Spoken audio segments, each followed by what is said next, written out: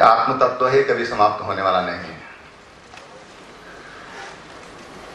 जैसे नैनीताल ने, जैसे गोपेश्वर ने, श्रीनगर ने, पौड़ी ने, इस पर प्रभावी अंकुश लगाया है और उसका प्रभाव वहाँ पर साफ़ साफ़ नज़र भी आता है। वास्तव में इस पर जो प्रतिबंध की ज़रूरत है, वो आम आदमी के द्वारा जब तक तो दुख नहीं होगा बोलिए आप ले लो आपस में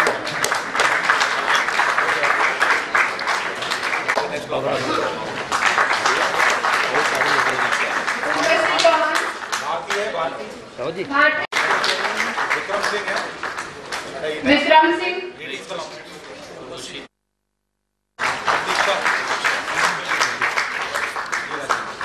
Thank you. Thank you.